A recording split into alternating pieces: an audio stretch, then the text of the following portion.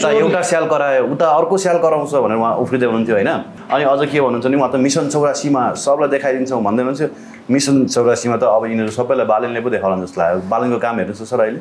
त्यही होइन त्यही त। अब ऊ त्यो के अरे कराए स्याल के के भने मैले त के थाहा आहा फेरि अझै पनि गोइबल्स थ्योरी प्रयोग गर्दैछन् है के भनेर हेरेर मुसुक हाँस्छु म त उसको भनाइ सुन्छु अनुहार हेर्छु होइन? अनि त अलिअलि दुब्लाउनु पनि भएछ जस्तो लाग्छ।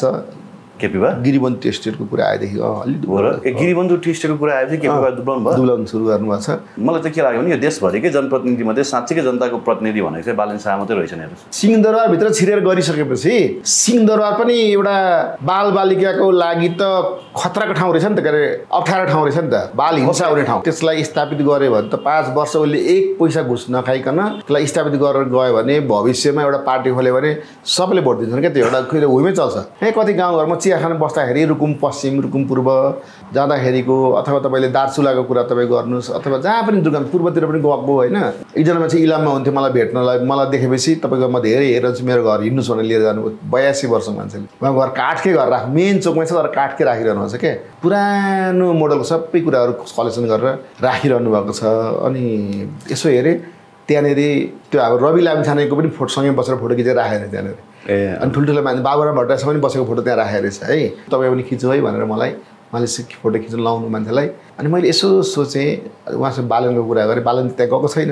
अनि बालनसँग उहाँको भेट भएको छैन। अनि अहिलेसम्म मैले देखेको सबैभन्दा बेस्ट मान्छे है मैले यति यति वर्ष हेर्नुहोस् विजयजी संसार मैले पनि बुझेको छु। धेरै मान्छेलाई मैले टुरिस्ट भएर घुमाएँ पनि। अहिलेसम्म सबभन्दा बेस्ट मान्छे मलाई लागेको बालेन हो भन्नुभएको थियो। काठमाडौँ महानगरपालिकाको मेयरको जुन पद थियो नि पहिले राखेको ऱ्याङ्क त्यहाँ घटाएको छ नि। कारणले गर्दा? हो।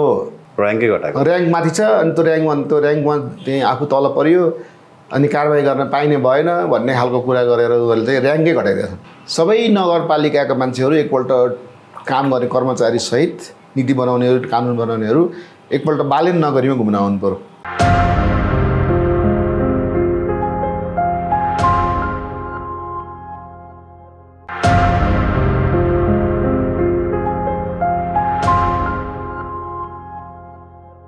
डाक्टर विजय मिश्र सर हाम्रो साथमा हुनुहुन्छ। डाक्टर साहबलाई हार्दिक स्वागत छ। हस् धन्यवाद। आराम हुन्छ डाक्टर साहब? आनन्द छ। तर बालन शाहको हेर्नुहोस् न काठमाडौँ महानगरपालिकाले अहिले एउटा रेस्क्यु टिम गठन गरेको रहेछ सर होइन? यो महानगरभित्र जति पनि बालबालिकाहरू चाहिँ श्रम शोषणमा यौन शोषणमा विभिन्न किसिमका शोषणमा परेका छन् नि तिनीहरू सबैको रेस्क्यु गठन गरेको रहेछ। एकजना इन्सपेक्टरको घरबाट यौन शोषणमा परेको बालिकाको रेस्क्यु गर्यो। एकजना प्रदेश सांसदको घरबाट चाहिँ बालिका रेस्क्यु गर्यो। सिंहदरबारभित्रबाट बालिका रेस्क्यु गर्यो होइन? बालन शाहले एटलिस्ट यो मलाई त के लाग्यो भने यो देशभरिकै जनप्रतिनिधिमध्ये साँच्चीकै जनताको प्रतिनिधि भनेको चाहिँ बालन शाह मात्रै रहेछन् हेर्नुहोस्। सिंहदरबारभित्र छिरेर गरिसकेपछि सिंहदरबार पनि एउटा बालबालिकाको लागि त खतराको ठाउँ रहेछ नि त के अरे अप्ठ्यारो ठाउँ रहेछ नि त बाल हिंसा हुने ठाउँ। अनि हामी चाहिँ छिर्न पाउँदैनौँ तिनीहरू कसरी छिर्छन् त्यहाँ है? त्यही त मैले भन्नु खोजेँ त अब यस्तो हो। केपी बालिका सडकमा कोही बालबालिका देख्नुहुन्छ? सब बालबालिकालाई यो अधिकार गरे ऊ अधिकार हाम्रो पालामा भयो भन्थे। अनि सिंहदरभित्र आफ्नै पालामा भइरहेको छु फेरि तर केपी बाला पनि नभनौँ। केपी बाले पनि केही बालबालिका राख्नु भएको रहेछ अरे होइन? त्यही त होइन मैले बुझेँ। केपी बाले एउटालाई मैले फी तिर्दिन्छु भनेर एडप्ट गर्नु हो त्यसको फी तिर्नु घरमा राख्नु भएको छ। टन्नै पाँच छजना कति बालबालिका राख्नु भएको छ अरे। अनि उहाँहरूसँग फुटबल खेल्दै बस्नुहुन्छ अरे। मैले हिजो अस्ति कसले को साथले भन्दै थियो? कि होइन त्यो त्यो त गर्नुहुन्छ होला। किनभने पालेको यताउता गरेको कसैको छोराछोरी ल्याएर हाम्रो प्रदीप गिरीले पनि आश्रममा एकजना दुईजना यस्तै थिए। जस्तो तपाईँले तर नि शुल्क शिक्षा भएदेखि बालन शाहले जसरी उन्नाइस हजारलाई नि शुल्क शिक्षा दिए नि त्यो गर्देखि त कसैले ल्याएर पाल्नुपर्ने जरुरत थिएन नि त। त्यो गर त्यो गर्नलाई अहिलेको शिक्षा आयोगको जुन प्रतिवेदन छ नि त्यसलाई सरकारले कार्यान्वयन गरे पनि त्यो हुन्छ। अलिक प्रगतिशील खालको छ तर कम्युनिस्टहरूले नै मान्दैनन् फेरि। कम्युनिस्टहरूकै स्कुल छ कलेज छ अनि त्यही त। के छ सर त्यो शिक्षा आयोगको प्रतिवेदनमा? सरकारी प्राइभेट स्कुलहरूलाई दस वर्षभित्र बिस्तारै बिस्तारै बिस्तारै दस वर्षसम्ममा त्यसलाई सरकारी। सरकारीकरण गरिसक्यो।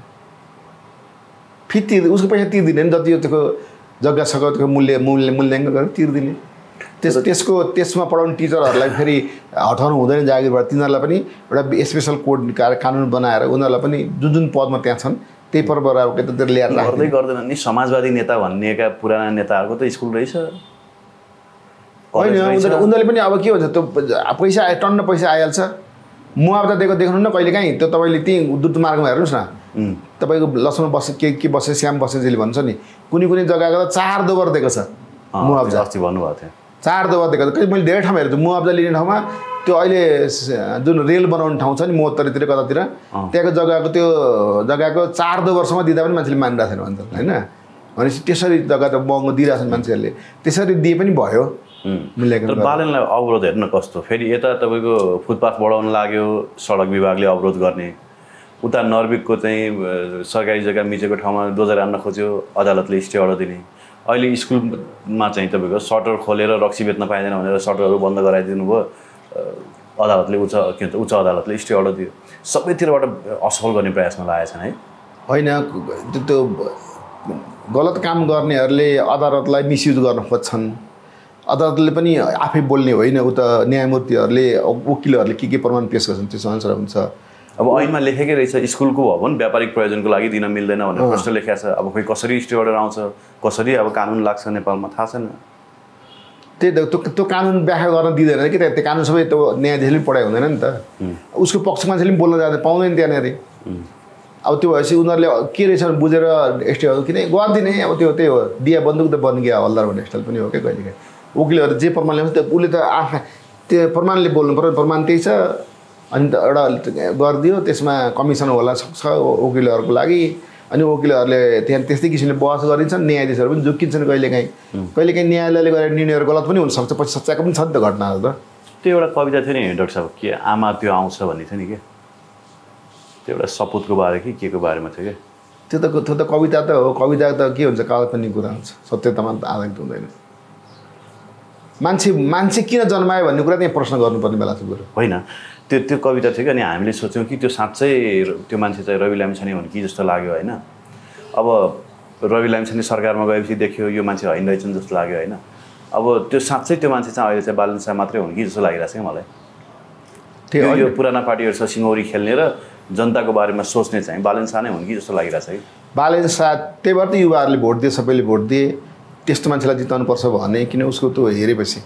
अरूसँग अरूसँग विरक्तिर उसलाई भोट दिएको न हो। अब उसले त त्यो त्यसलाई स्थापित गर्यो भने त पाँच वर्ष उसले एक पैसा घुस नखाइकन त्यसलाई स्थापित गरेर गयो भने भविष्यमा एउटा पार्टी खोल्यो भने सबैले भोट दिन्छन् क्या त्यो एउटा कहिले हुमै चल्छ। हेर्नुहोस् गाउँघर सबैले सोसियल मिडिया छ अहिले।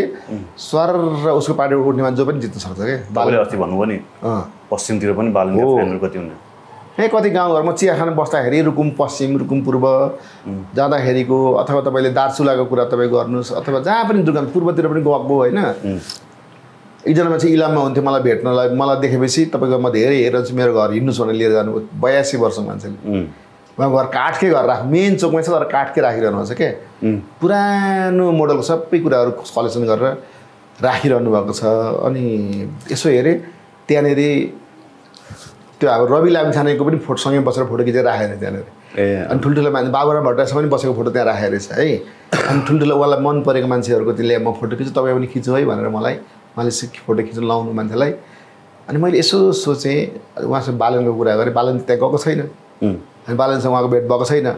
अनि अहिलेसम्म मैले देखेको सबैभन्दा बेस्ट मान्छे है मैले यति यति वर्ष हेर्नुहोस् विजयजी संसार मैले पनि बुझेको छु। धेरै मान्छेलाई मैले टुरिस्ट भएर घुमाएँ पनि। अहिलेसम्म सबभन्दा बेस्ट मान्छे मलाई लागेको बालेन हो भन्नुभएको थियो देख्नु भएको छैन हो। त्यति त्यही त हिजो कसले भन्दैन थियो एक युगमा एकपटक जन्मिने नेताहरू कोही हुन्छन् होइन? त्यस्तो एउटा नेता चाहिँ बालन शाह हुन् लिक्वान यु जस्तो नेता हुन् उनी। उसले आफूलाई नेताको जस्तो देखाएको छैन क्या। मोहम्मद माथि जस्तो हुन सक्छन् उनी भन्दैछन् क्या मान्छेहरू। त्यो चाहिँ देखियो कि जस्तो लाग्यो कि किनभने सङ्घीय सरकारसँग लडीबुडी खेल्नु परेको छ हेर्नुहोस्। के भाले जुदा खेल्नु परेको छ। अदालतसँग भाले जुदा खेल्नु परेको छ त्यो उस उसको रिसले गर्दाखेरि काठमाडौँ महानगरपालिकाको मेयरको जुन पद थियो नि पहिले राखेको ऱ्याङ्क त्यहाँ घटाएको छ नि। ए बालन शाह कारणले गर्दा? हो। ऱ्याङ्कै घटाएको। ऱ्याङ्क माथि छ अनि त्यो ऱ्याङ्कमा त्यो ऱ्याङ्कमा त्यही आफू तल पऱ्यो अनि कारवाही गर्न पाइने भएन भन्ने खालको कुरा गरेर उनीहरूले चाहिँ ऱ्याङ्कै घटाइदिएको छ. होइन यति काम तपाईँको अरू पालिकाका मान्छेहरूले नि गर्दैदेखि जस्तो उन्नाइस हजारलाई छात्रवृत्ति दिने काम होइन? तपाईँको सरकारी हस्पिटलहरूमा समेत पनि जुन आरक्षणको कोटा हुन्छ त्यो कोटालाई चाहिँ सेक्योर गर्ने काम होइन? तपाईँको महानगर मातहत त्यसलाई चाहिँ त्यो सेवा प्रदान गर्ने काम यसरी बालबालिकाको संरक्षण गर्ने काम उनीहरूलाई एजुकेसन दिने सेल्टर दिने काम होइन? यसरी बाटोघाटो सबै चौडा फराकिलो बनाउने रुख बिरुवा रोप्ने सहर सिँगार्ने काम। त्यो अरूले पनि गर्दैदेखि त नेपाल छिट्टै बन्नु कति टाइम लाग्थ्यो है? त्यही त मैले भनेको टुर जान्छन् नि मान्छेहरू नगरपालिकाहरू। भरत थापा अब उहाँ त्यत्रो ताल बनाएर तालमा माछा पालेर व्यक्तिगत ताल होइन त अब त्यो उनी पनि कुन दिन छुट्छन् धरोटीमा सकिएको।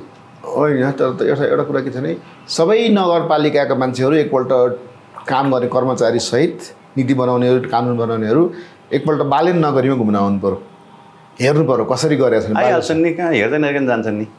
त्यही त होइन म त भनेको त्यो पनि आएर भेट्न भेटेर जे गर्नु पनि काठमाडौँ आउनुपर्छ आउनु त आउँछन् नि।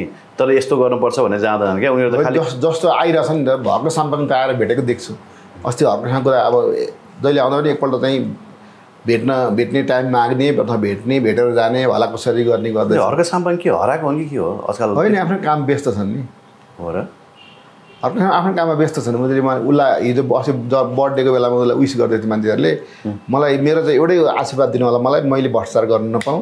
गलत काम गरे गर्न चाहिँ कसैले मलाई नभन्नु होला। त्यति भए मलाई पुग्छ भन्दै थियो। ढुङ्गा बोकिरहनु भएको छ कि? श्रमदान भइरहेको छैन अहिले? होइन अब तपाईँ अहिलेको सिजन त बाढीको सिजन छ होइन।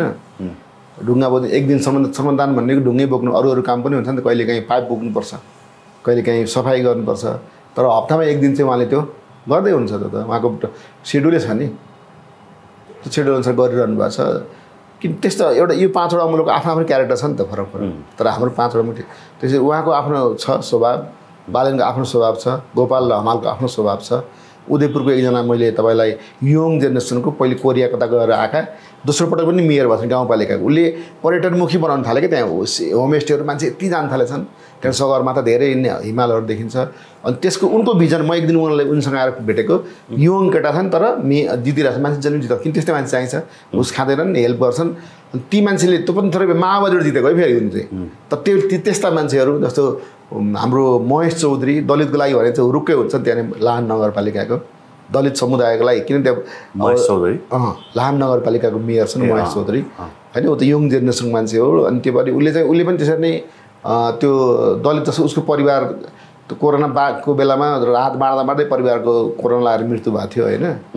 अनि सामाजिक शहीदको उम्, भनेर नाउँ राखेको मैले राखेको थियो सामा के सोसियल शहीद भन्ने सामाजिक शहीद हुनु उनी चाहिँ अनि त्यो उनको श्रीमती त्यही भएर सामाजिक शहीदको परिवारलाई एकपटक भोट दिएर तपाईँहरूको सेवा गर्ने अवसर दिनुहोस् भनेर मैले एउटा इन्टरभ्यू दिएको थिएँ। तिन चार लाख मान्छेले त्यो इन्टरभ्यू हेरेको त्यतिखेर। सानो त्यो छोटो। त्यो कस्तो छ भनेदेखि द उसले अहिले पनि त्यो बाइस गते पर्छ क्या उनको मृत्यु भएको दिन। प्रत्येक महिना बाइस गते दलित समुदायमा केही न केही केही न केही काम गरिरहेकै छन्। त्यो पनि के हो त? अब त्यो त्यस त्यसले गर्दा के देख्यो भनेदेखि गर्भवती भएको महिलाहरूलाई पोसिलो खुवाउन दिने कुरादेखि लिएर जस्तै मुसर समुदायकै मान्छे मऱ्यो भने मृत्यु भयो भने क्रिया गर्ने पैसा हुँदैन नि अनि क्रिया गर्न पनि पैसा दिने सिस्टम भात खाने पैसा आउँदैन क्रिया गर्ने। होइन त्यो भात खाने पनि उसले व्यवस्था गरेको छ नि त रोजगारीको व्यवस्था हुन्छ। अथवा अरू अरू उ गरेर छन् तर तपाईँले आजकल तर भातै खान नपाउने गरी बेरोजगार चाहिँ छैन मान्छेहरू त्यो एरियामा गिटी कुट्ने बालुवा ओसार्ने कामहरू धेरै छ हेर्नुहोस्। त्यहाँको खुट्टी खोलाको बालुवा भनेपछि यो नेपालभरि समुद्रमा बालुवा भन्छन्। त्यसको त्यसको बिजनेसमा काम लाग्ने मान्छेहरू टुट्न छन् होइन। अब कोही ट्र्याक्टर ड्राइभर भएका छन् कोही के भएका छन् काम गर्नलाई चाहिँ अथवा कोही विदेश गएका छन् त्यो भने चाहिँ अब अब कुनै परिवार काम नपाएर भोकै बसेको चाहिँ म देख्दिनँ। तर के भन्छ सम्मान पाउनु पऱ्यो नि काम मात्रै होइन। सम्मान पाउनु पऱ्यो अनि त्यस्तै कहिलेकाहीँ आपद विपद पर्दाखेरिको अलिक धेरै पैसा चाहिने बेलामा सहयोग चाहिन्थ्यो न हेल्प गर्न चाहिने। त्यस्तो बेलामा चाहिँ उनीहरूलाई चाहिँ देउस एउटा दलितको मसिया भएरै महेश चौधरी आएका छन् हेर्नुहोस् यो सबै हेर्दा मैले के यस्ता केही मान्छे क्रिम मान्छेहरूलाई तर देश बन्नु त धेरै टाइम नलाग्ने रहेछ नि सर देश सबै चना ढकाला दियो भने त बनिहाल्दो रहेछ त। अब उनले मौला कालिकामा नि बनाए केबल कार होइन अब उता पाथिभरामा बनाउँदैछन्। अनि अब यहाँ चन्द्रगिरीमा बनाए अर्को सिद्ध बाबामा बनाए होइन। तपाईँको अर्को एक ठाउँमा पनि यहाँ यहाँ कालिम्चोकमा बनाए होइन। उनलाई दियो भने त फटाफट भइहाल्दो रहेछ त। होइन तर त्यो त्यो बनाइसकेपछि तपाईँले हेर्नुभयो भने अहिले तपाईँले मैले अस्ति एकजनासँग कुरा गरेँ म गएको थिएँ नि तेस्रो पटक गएँ म पाथिभरा। पाथिभरा चढ्दा बाटोमा माथि चढ्दै जाँदा यत्रो बोर्ड राखेको छ विरोध गरेर। केबल कार बन्द नबनाऊ बहिष्कार गरौँ भनेर। अनि संसारमै तपाईँको त्यसरी ट्रेकिङ जाने ठाउँहरूलाई संरक्षण गरेर ट्रेकिङको लागि मात्रै बनाइन्छ। अनि हरेक ठाउँमा चल्न ढकाललाई के भन्छ यो केबल कारको सञ्चालन गर्न चाहिँ अनुमति सरकारले दिन मिल्छ भनेर छ जसले एकलौटी राज्य एकलौटी एउटा व्यक्तिलाई एउटा जसले अनुमति दिन्छ सार्वजनिक सम्पत्ति एकलौटी एउटा व्यवसायलाई सब ठाउँमा दिन मिल्छ भने। त्यो त्यो त्यो त्यो त्यो कसको पालामा स्वीकृति लियो होला नि त विचार जसको। पालामा होस्। होइन जसको त्यो पालामा स्वीकृति लियो होस् के। वामपन्थीको पालामा लियो होला उसले उसले। जसको पालामा लिए पनि त्यो दिन मिल्नु चाहिँ जायज हो कि होइन? त्यो त अब तपाईँले हेर्नुभयो भने उसले उसको पनि त्यहाँ कति पार्टनर छन् भित्र हेर्नुभयो भने थाहा हुन्छ। उसको नाम हुन्छ बाहिर भित्रभित्र के हुन्छ। यही बतासको तपाईँ आज गएको होटल हेर्नुहोस् न। त्यो फ्रीमा बनाइदिएको कसले त मोदी सरकारले? धर्मशाला भनेर।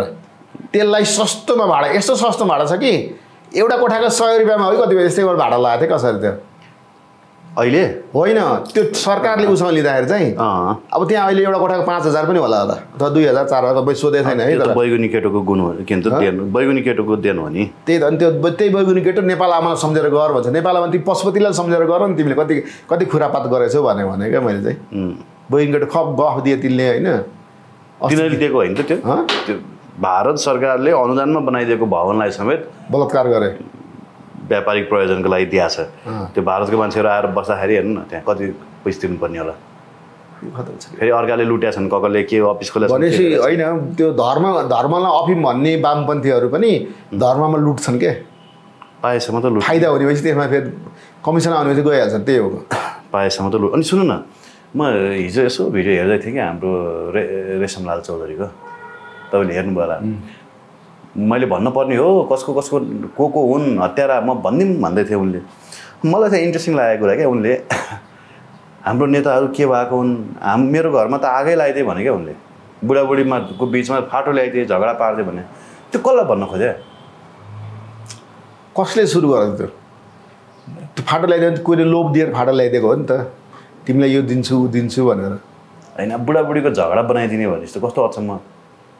राजनीतिमा हुन्छ त्यो किनभने उसलाई पनि मन्त्री हुने पद चाहिएको थियो। उसले पनि अब त नहो मलाई यस्तो छ भन्ने कुरा। मैले तपाईँलाई के भनेको थिएँ भनेदेखि अस्ति पनि एकपल्ट भनिसकेको छु। त्यो भित्रको बुढाबुढीको झगडा पकालको आगो हुन्छ भनेको थिएँ मैले। अहिले उनीहरूको बिलापत्र भइसकेको छ हेर्नुहोस्। भइसकेको छ?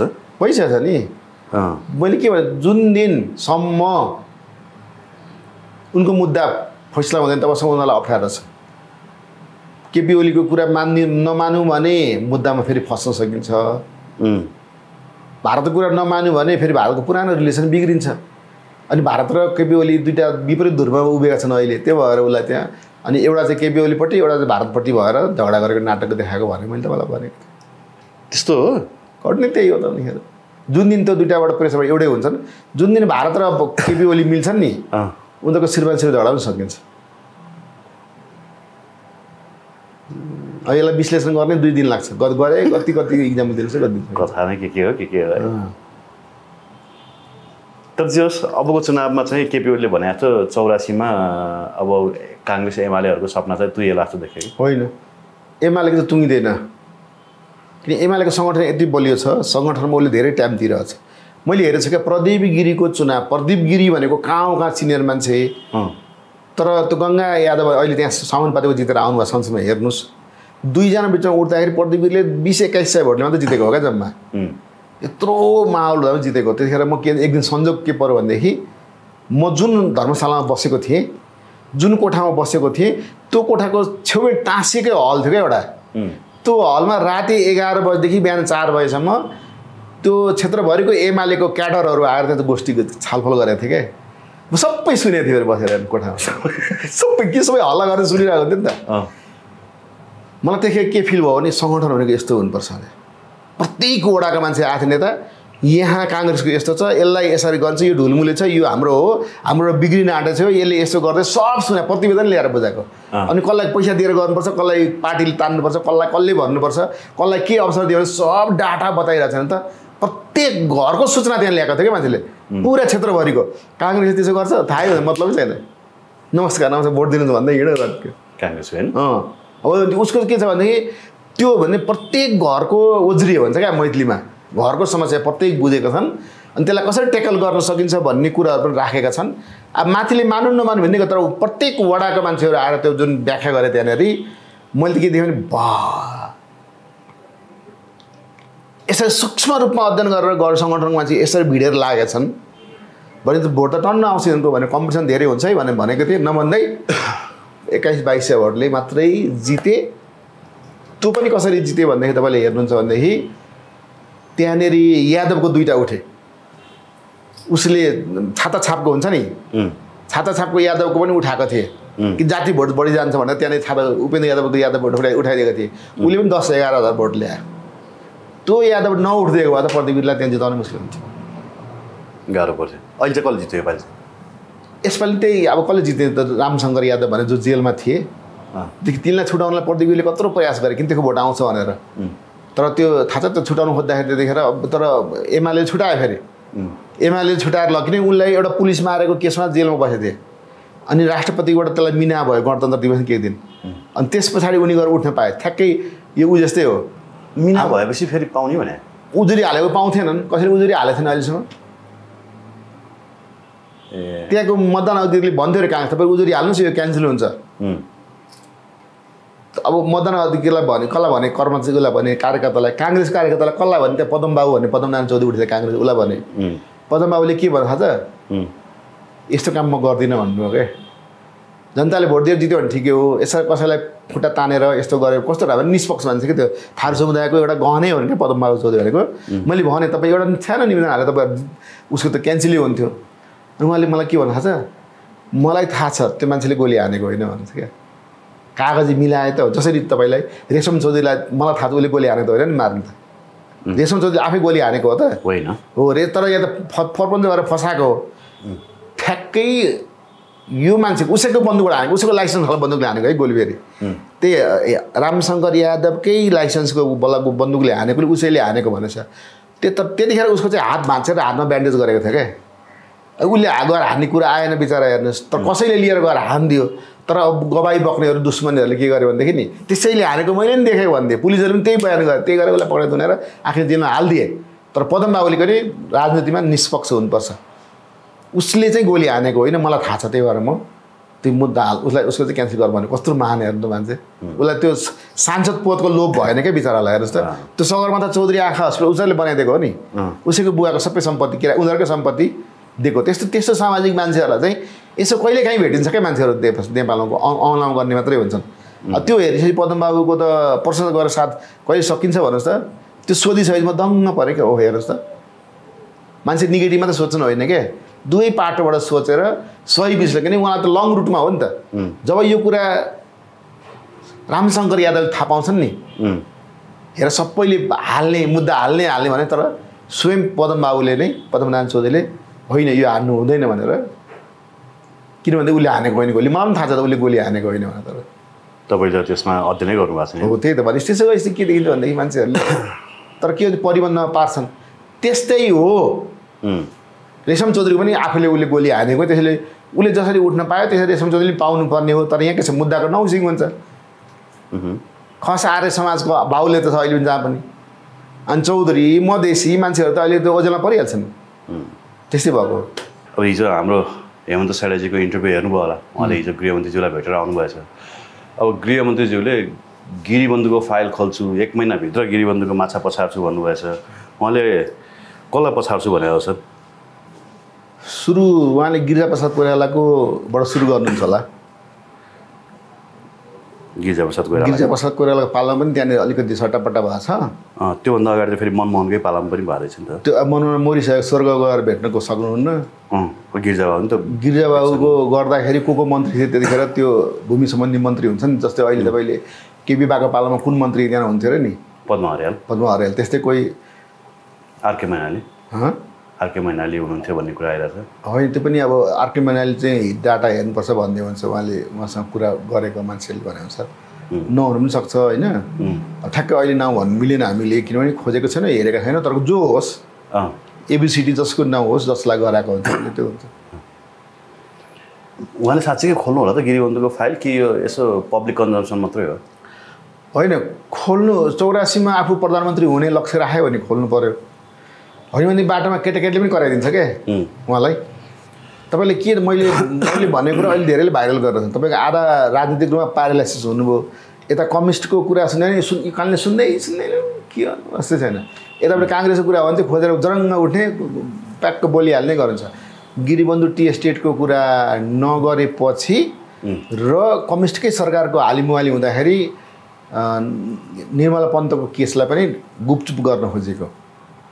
त्यसमा उसले पनि अरू अरूको उसमा यिनी गृहमन्त्री भयो भने यिनले त्यो पनि खोल्न सक्छन् निर्मला पन्तको। तर निर्मला पन्तको वामपन्थीहरूको सरकारको हालिमाली हुँदा त्यो खोल्न सक्दैन। यो? यति कुलु तपाईँलाई बताइदियो। अब खोज्नुहोस् तपाईँले धेरैले भनिसकेछ। मैले भने उसले भनिसकेछन् के अरे? नारायणमान विजुसेले भनिसक्यो एकपल्ट गएर फेरि सोध्नुहोस्। तपाईँलाई कसमाथि शङ्का लाग्छ भनेर सोध्नुहोस् त। उसले ठुल्ठुला मान्छेकै छोराहरूको प्रयोग भएकोले यसो भएको भनेर इन्डाइरेक्टमा भनेको नि त। पत्रकारले फलोअप क्वेसन गरेन त्यहाँनिर को चाहिँ त्यो ठुलो मान्छे भनिदिनुहोस् त भने बा भनिदिन्छन् कि तिनले? मैले पनि तिनले भने थाहा पाएँ खोज्न थालेको। नारायणमान विद्युतले जब हिन्ट दिए नि त्यत्रो बुढा मान्छेले हिन्ट दिइसकेपछि केही न केही भित्र छ भनेपछि खोज्न थालेको। ट्याक्क भेटेँ। अब यो मैले खोज्ने होइन प्रहरीले खोज्ने हो। गृहमन्त्रीले खोज्ने हो। पुरस्कार पाउने गृहमन्त्रीलाई दिनुपर्छ। कि पहिले पहिले तपाईँले हेर्नु राजा महाराजाको युद्धमा नुवाकोटमा पहिलो आक्रमण गर्दाखेरि पृथ्वीनारायण शाहले बाह्र वर्षको भाइ त्यहाँ गएको थियो युद्ध गर्नलाई भन्छन्। युद्ध गर्न त लगेको होइन। नाउँमा चढिहाल्यो पानी वर्षा थियो चढे लौ जाउँ जाउँ जाउँ भनेर लिएर आए। नाउँमा? अँ पछि त्यो बाढी खोलामा त नाउँ चढेर तर्नु पर्थ्यो नि त। त्यो जब नुवाकोट आउनुलाई त उनीहरू त्यो गोर्खाबाट आउनु पऱ्यो नि त। जहाँ बस क्याम्प बनाएर बस्थ्यो राति आउँदाखेरि त नुवाकोट छिर्थ्यो त खोला छ बिचमा। त्यो खोला तरेर जानु पऱ्यो त्यो नाउ तयार गरेर नाउबाट तऱ्यो सबैजना तर्दा ऊ पनि तऱ्यो अनि लास्टमा त्यो जो त्यतिखेरको त्यहाँनिरको ऊ थियो नि कमान्डर राखेको थियो जयप्रकाश मल्लले त्यो चाहिँ काठमाडौँमा जयप्रकाश मल्ललाई भेट्न आएको रहेछ कुनै फङ्सनमा अनि उसको छोरा सानो नाबालक छोरा त्यहाँ रहेछ। अब त्यहाँ जित्न त जित्यो तर के भने त्यसलाई काट्नुपर्ने भयो नि त अब। अनि काट्दाखेरि चाहिँ त्यही पृथ्वीनारायण शाहको बाह्र वर्षको भाइलाई ल्याएर हजुरले काटी बक्सिस भन्ने स्टाइलले राजाको छोरा यत्रो बहादुर उसले नै काटे भनेर दिइरहेको छ नि त त्यहाँनिर त्यसो भएपछि के भने त्यस्तै अब मैले भनेको निर्मला पन्त केस मलाई मैले धेरै कुरा खोजेको भए पनि तर यसको चाहिँ उद्घाटन गर्ने भन्नु सार्वजनिक गर्ने रवि लामिछानेकै हातबाट भइदिएदेखि। उसलाई प्रधानमन्त्रीमा सिँढीमा चढ्नलाई एउटा खुड्किलो पार गर्न सजिलो हुन्थ्यो। अनि यो सी र एट चिनेन भने के हो सर कुरा? सी र एट चिनेनछन् भन्ने कुरा आइरहेछ नि। मैले त्यो के ठ्याक्कै अहिले बुझेँ अझै। त्यो जाहेरीमा सी र एट चाहिँ नचिनेको कारणले यस्तो भयो के हो त्यो त मैले भने त यस्तो छ क्या त्यहाँ दर्ता गर्दाखेरि कास्कीमा सी वान लेखेको थियो। है? सी वान लेखेको थियो अनि यतातिर अनि सी वान भनेको मतलब अब त्यहाँतिर के चाहिँ एकासी बिरासी हुन्छ नि त अब एकासी बिरासी वान भनेको। दुई हजार एकासी होला भनेर असी एकासी होला भनेर आर्थिक आर्थिक वर्ष असी एकासी होला भनेर उसले चाहिँ असी एकासी लेखिदिए सी वानलाई एकासी लेखिदिए। तर त्यो एकासी भनेको चाहिँ सी वान रहेछ। अनि मुद्दा दर्ता गर्नेले पनि त्यो सी वानलाई एटी वान लेखिदिएछ। अदालतले पनि त्यही चिठी पठायो प- त्यहाँको प्रहरीलाई। अनि त्यहाँको प्रहरीलाई पनि चलाखी गर्न सजिलो भयो। त्यहाँ त सिवान छ। यहाँ उसले चाहिँ यो सिवान तपाईँले मिस्टेक गर्नु यति नम्बर लास्टको नम्बर त फेरि मिल्छ नि त। सिवान बाहेकको नम्बरहरू जुन छ त्यो नम्बर त फेरि मिल्छ। तर त्यो सिवानको बदलामा एट वान लेखेकोले यो नम्बर भएको यहाँ छैन भनेर उसले पठाइदिन सजिलो भयो भनेदेखि समय सर्ने मेलो मात्र। तर यो चाहिँ प्रहरीले अदा अदालतबाट चाहिँ योपालि रविलाई त्यति धेरै सकस नपर्ने देखियो होइन? होइन। किन पर्दैन? फेरि मागिरहेछ। तपाईँलाई मेरो मेरो मोबाइलमा छ तपाईँलाई देखाइदिन्छु। मेरो मोबाइलमा त्यो हालेको म जसले मु जाहेरी हालेको नि ल्याप्चे सहित पाहाडे कागजमा लेखेको मलाई फोटो नि खिचेर मान्छे पठाइदियो। म तपाईँलाई अहिले दिन सक्छु त्यो। जाहेरी? अँ। दर्ता भएकै जाहेरी? दर्ता भएको जाहेरी त उसलाई दिएको। तर के छ भने तपाईँले दर्ता गरिसकेपछि त फोटो खिच्न दिँदैन नि त। दर्ता गर्न लगिसकेपछिको दर्ता गर्नुभन्दा अगाडि फोटो खिचेर राख्न पाउँछन्। दर्ता गरिसकेपछि त्यसले कहाँ फोटो खिच्न दिन्छ? कि त सूचनाको हक अन्तर्गत माग्नु पऱ्यो ए एउटा कुरा नि मैले नबुझेको हिजो अस्ति हो क्या? संसदमा पनि कसैले आवाज उठाउँदै हुनुहुन्थ्यो दोहोरो नागरिकताधारी दोहोरो राजधानी बोक्नेहरू होइन? यिनीहरूलाई चाहिँ राजनीतिमा प्रवेश कसरी गर्न दियो? अथवा यो सरकारी सुविधा सरकारी सेवामा भएकाहरूको चाहिँ छानबिन गर्नको लागि अख्तियारले जुन पत्र पठाएको थियो नि त्यसको विषयमा उहाँहरूले बोल्दै हुनुहुन्थ्यो। अनि राजनीतिमा चुनाव लड्ने बेलामा कसको दोहोरो नागरिकता छ छैन? क्रस भेरिफाई गर्ने जिम्मा त यो निर्वाचन आएको होइन? होइन। निर्वाचन आयोगलाई उसले जुन नागरिकता देखाउँछ त्यो नागरिकता नै उसले विश्वास गर्नुपर्छ। किनभनेदेखि नागरिकता छ स्टाम्प हानेर साइन गरेछ। उसले डुप्लिकेट हो भन्ने प्रमाणित गर्ने हैसियत ना निर्वाचन आयोग होइन। निर्वाचन आयोगलाई दिएको म्यान्डेट भनेको नागरिकता ल्याऊ भन्छ। नागरिकता दिइसकेपछि त्यो डुप्लिकेट होस् कि डुप्लिकेट होस् कि दुइटा लिएको हो कि पाँचवटा लिएको होस् कि भारतैले भारतैले आएर लिएको होस् कि अमेरिकनले आएर लिएको त्यो मतलब छैन। कसैले उजुरी हालिदियो भने छानबिन गर्नलाई उसले फेरि नागरिकता दिने निकाय पठाउँछ फेरि। उसले आफै डिसिजन गर्दैन। के हो त यस्तो आयो उजुरी? त्यो उजुरी पनि हाल्ने म्याद हुन्छ फेरि त्यहाँनिर। त्यो म्यादभित्र आएन भनेदेखि भन्नु न चुनाव फैसला भइसकेपछि अस्ति त्यही भएको रवि लामिछानेको चुनाव नै घोषणा भइसकेकोले अब उसले हेर्नु पर्छ चुनाव घोषणा भइसकेको अवस्थामा त्यो उजुरी हेर्ने नहेर्ने भन्ने कुनै एउटा बुझा थियो। अनि उसले के भने एक हप्ताभित्र पठाउनुपर्छ भन्ने भयो। भने चोर बुद्धि कस्तो भयो नि एक उ- उजुरी छिटो छिटो हाले। त्यो उजुरी हालेको एक दुई दिन उसले अनुसन्धान गर्न लगाइदियो। अनि चु म्याच हुनु चाहिँ कसो दियो भने नि चुनाव सकिसकेपछि एक हप्ता पुग्ने म्याद गरेको थियो क्या अनि ठ्याक्क चुनाव सकिसकेपछि म्याद गुज्रिने गरी एक हप्ताभित्र बुझाउनु भन्यो। अब एक हप्ताभित्र भने चाहिँ चुनाव एक हप्ता त लास्ट दिन बुझाए पनि भयो नि त। अनि एक हप्ताभित्र उसले नबुझाएर चुनाव जिते चुनाव जितिसकेपछि के भनेदेखि अब त्यो बुझाए पनि के भयो त्यसको कारवाही नहुने भयो। उसले एक हप्ता पछि बुझाइदिए चुनाव जितिसकेपछि। तर उसले बुझाउ जस जे बुझायो तर अब त्यसलाई हामीले अनुसन्धान गर्नु नपर्ने किन चुनाव सक्यो भनेर त्यसो गरेर पन्छ्यो त्यस पछाडि न अनि त्यो सफलहरू उसमा गएका हुन् अदालतमा गएका हुन् त्यस्तो कुरा हो नि त। त्यतिखेरै त निर्वाचन आयोगमा जसले उजुरी हाल्यो त्यो उजुरी एक हप्ता अगाडि हालिदिएको फेरि। पहिलो चुनावमै उनीको विकास हुन्थ्यो। एकचोटि लालबाबु पण्डितले धेरै खोज्ने प्रयास गर्नुभएको थियो है उहाँलाई नै सिद्ध्याए अहिले लालबाबु सिद्धिने कारण छ अर्को हेर्नुहोस्। लालबाबुलाई शेखर कोइरालालाई डक्टर शेखर कोइरालाको इमेज राम्रो छ। उसले कहीँ भ्रष्टाचार गरेको यताउता केही छैन। त्यस्तो भएपछि शेखर कोइराला भविष्यको प्रधानमन्त्री पनि भन्ने विराट त छ त शेखर कोइरालाको पनि भारतमा भनेर हाम्रो योगीजीले आरोप लगाउँदै हुन्थ्यो होइन अब त मामा मामाली उहाँ हो मामालीको मामालीले अलिअलि पैसा दियो भने त अकुत हुन्छ त। मामा उहाँको उहाँको माइती घर जुन छ नि उहाँको मामा घर मामा घर एउटा ठुलो हवेली नै हो जमिनदार नै हुने होइन? त्यो उहाँको माइती पैसाको स्कारसिटी भएपछि उहाँको मामा घरको जुन हवेली छ त्यो चाहिँ बरु फुलेन देवीले किने हो फेरि। डाकु फुलेन देवी छ नि। तिनको बस्ने ठाउँ जुन छ नि घर त्यो उहाँको मामाले घर किनेको पुर्खोली घर। भनेपछि घर कसैले पुर्खोली घर बेच्छ त? अप्ठ्यारो परेन बेच्छ मान्छेले। त्यही त हाम्रो एकजना योगीजीले आरोप लगाउँदै हुन्थ्यो अरबौँ पैसा छ त्यही त गफ। गफ दिएर अब शशाङ्क होइन त्यही त तपाईँले यो यो चाहिँ के छ? तपाईँले हेर्नुभयो भने त्यो गिरिजा प्रसाद कोइरालाले पैसा राखेको दिएन भारतले भनेर कत्रो झगडा पऱ्यो उहाँको।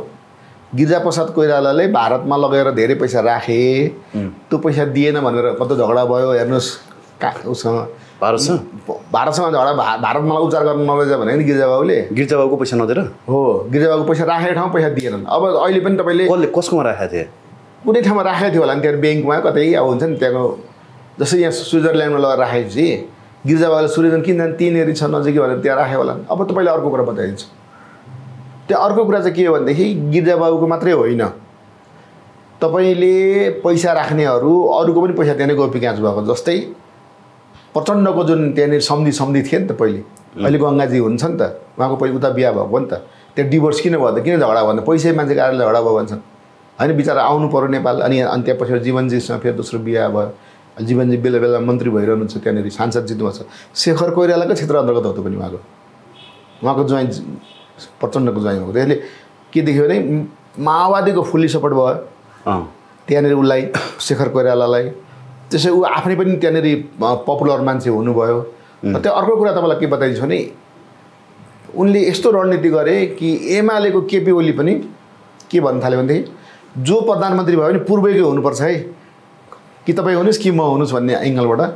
अब यो लालबाबु पण्डित भन्ने कस्तो मान्छे पऱ्यो भने तपाईँ थाहा छ पहिलो पटक लालबाबुलाई जब मन्त्री बनायो नि केपीबाले दुईजना मात्रै बनाएको थियो नि त्यो एउटा के मगर महिलालाई सिराएका थिइन् तिनी अनि तिनको छेउ मेरो जग जग्गा छ क्या त्यहाँनिर किनेको मैले।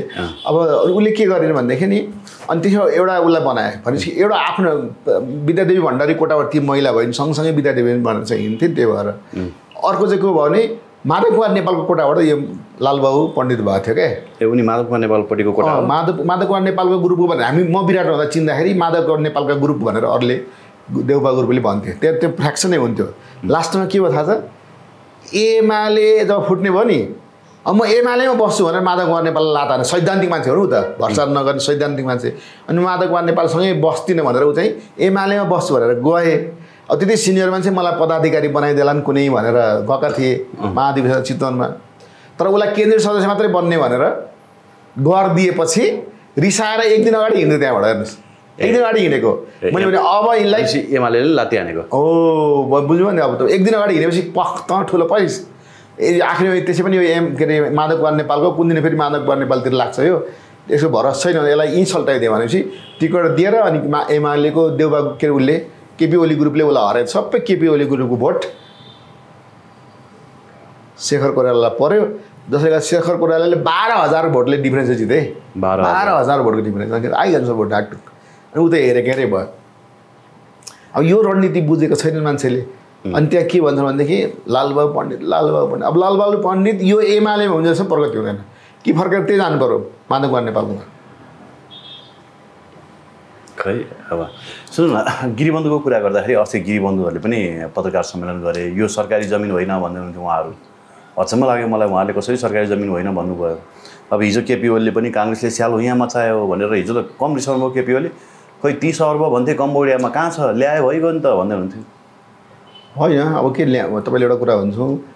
त्यो भन्ने मान्छे सबभन्दा पहिले सूचना दिने मान्छे जो हो नि दुर्गा प्रसादले पहिले भने हो। दुर्गा प्रसादलाई कसले सूचना दियो भन्ने कुरा बुझ्दाखेरि त्यो तपाईँले एउटा कुन एक के ढकाल भन्ने एउटा सांसद बनाएको छ एमाले एकनाथ ढकाल। अँ, जसले यहाँ वाइलो के अरे होली वाइन खुवाउनुलाई एउटा यहाँ आयोजना गरिदिएको थियो। त्यसमा गएर होटलमा गएर बसेका थिए पनि केपी ओली। त्यो एकनाथ ढकालले जसलाई दिन्छु भनेको थियो त्यो त्यो त्यसमा अलिकति तपाईँलाई पनि है तपाईँलाई पनि भनेर जसलाई भनेको थियो। अनि त्यसलाई पनि दिनुपर्ने उसलाई पनि दिनुपर्ने त्यसलाई किन दिनुपर्छ? सबै मलाई ल्यायो भनेर केपी ओलीले सबै खाइदिए त्यसले पाएन। नपाइसक्यो त्यसले कसलाई भन्नु कसलाई भन्नु कसलाई भन्नु भनेपछि त्यसले गएर दुर्गा प्रसादलाई भन्यो। भनेकै हो? हो। अब त्यो मान्छेले दुर्गा प्रसादलाई भन्यो। सायद त्यो मान्छे तपाईँले इन्टरभ्यू लिनुभएको छैन तर टिभीमा धेरै इन्टरभ्यू आइरहेछ त मान्छेको है।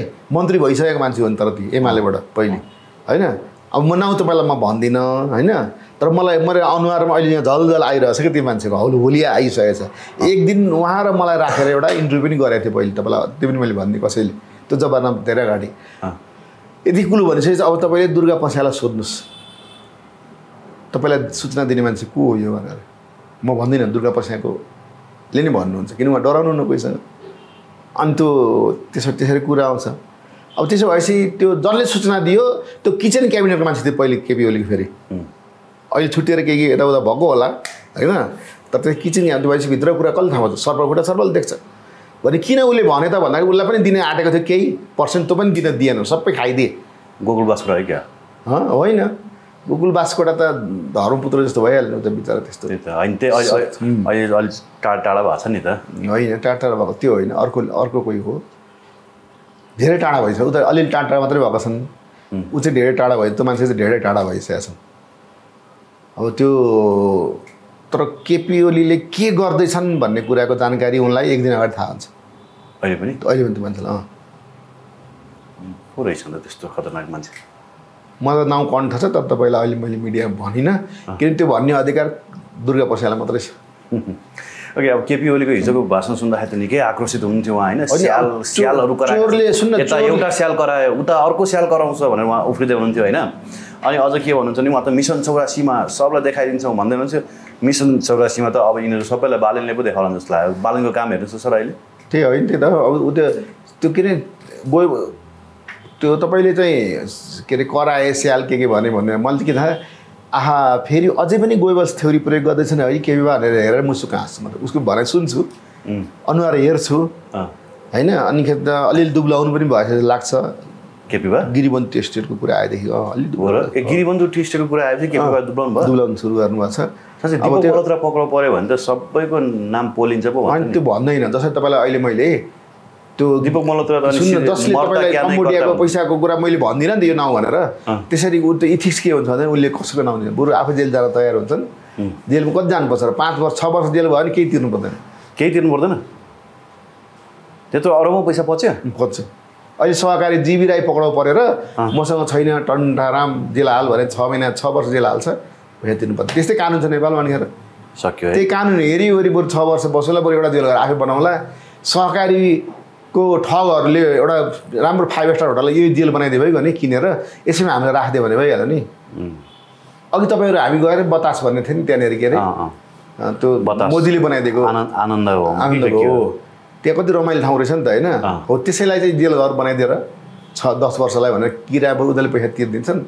अनि त्यही ल्याएर त सहकारीबाट सबै राखेर बस्छन् जेल घरमा। आखिर त सरकारकै गरे? आज मुद्दा आज भोलि मुद्दा हुन्छ त्यो त फिर्ता गर्नुपर्छ। त्यस्तो लुटेर खाएको पैसा पनि कस्तो पच्छ होला र सर त्यो? त्यसले सुख दिन्छ होला र? त्यही त सुख के हो त? छ वर्ष जेल पर्ने हो त्यही त हो नि। इज्जत इज्जतै फ्यालेपछि के लाग्छ? इज्जत हो सबभन्दा पहिलो ठुलो कुरा। इज्जत फ्यालेपछि मान्छे मान्छे हो कि पशु हो भन्ने कुरा त मान्छेले विवेक प्रयोग गर्छ नि त। हस् Vijay sir thank you very much हस् धन्यवाद।